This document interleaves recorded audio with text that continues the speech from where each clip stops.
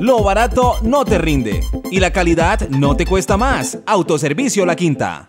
Más accidentes se han registrado en el punto cercano al Parque Uribe, en donde fueron instalados los bordillos traspasables por parte de la Agencia Nacional de Seguridad Vial.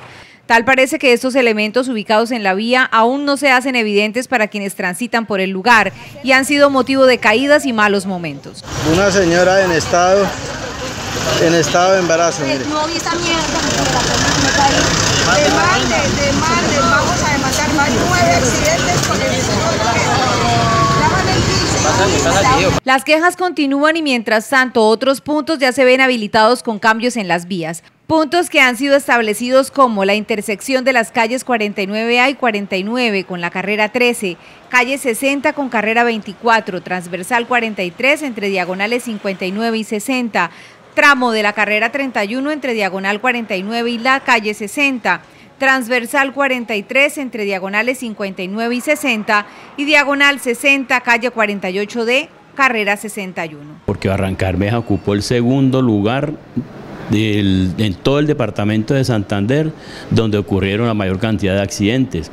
Entonces, ese estudio eh, fue analizado por ellos eh, conjuntamente y finalmente ellos decidieron apoyarnos con la construcción de una señalización vial en cinco de los, de los 11 que habíamos pasado inicialmente. A los peatones, por favor, pasen por las cebras y los vehículos automotores respeten la, reducción de la velocidad para que también eh, permitan al otro actor vial, que es el peatón, pueda cruzar con seguridad la vía en ese sentido. Según la autoridad de tránsito, esta labor se viene realizando debido a la alta accidentalidad del municipio en estos puntos que han sido determinados como puntos críticos, por lo que se le da allí la habilitación de estos volardos y estoperoles.